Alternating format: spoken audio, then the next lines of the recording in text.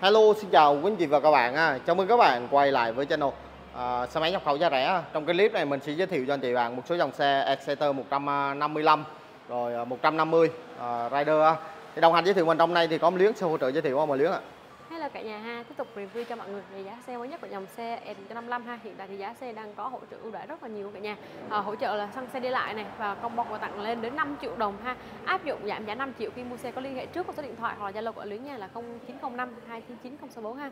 Đó, đầu tiên là về em xe màu xanh ha, xanh này xanh ngọc bích này. Em này là phiên bản uh, có hai phiên bản rồi, chỉ, chỉ có thường và số có mắc cây ha. Em này có lên cho cả nhà là ốp này, trước sau rất đơn giản luôn. Hiện tại thì mẫu này đã có hỗ trợ khách hàng với mức giá là 41 triệu 900 nha. Đối với bản chỉ có thường và 43 triệu 900 đối với bản có số mắc cây. Liên hệ trước tàu đến được giảm giá 22 triệu đồng con xe lại nha. Đó tiếp tới là một vài màu như là màu xanh uh, xanh rêu này, màu tím titan Màu này này. đẹp này. Màu rồi màu tím lạ. titan này. Bên Dạ. này có màu xanh này, màu xám xi măng này, có màu vàng xám này. Rất là nhiều màu luôn. Đó, anh em nào mua thì tranh thủ thời gian mình ghé tới cửa hàng mình mua. Đặc biệt là có màu ờ, giới hạn màu trắng ngọc trai này. Hiện tại giá nhiêu ta?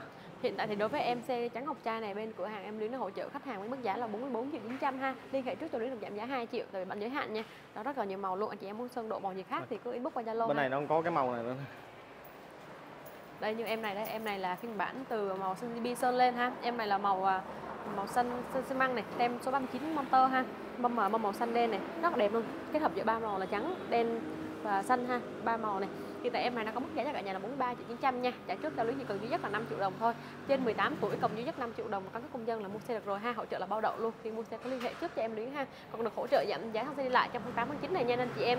Ví dụ như là cả nhà muốn lấy cả vẹt gốc thì có thể trả trước tầm cỡ 15 triệu ha là có hỗ trợ là lấy cả vẹt gốc rồi nha.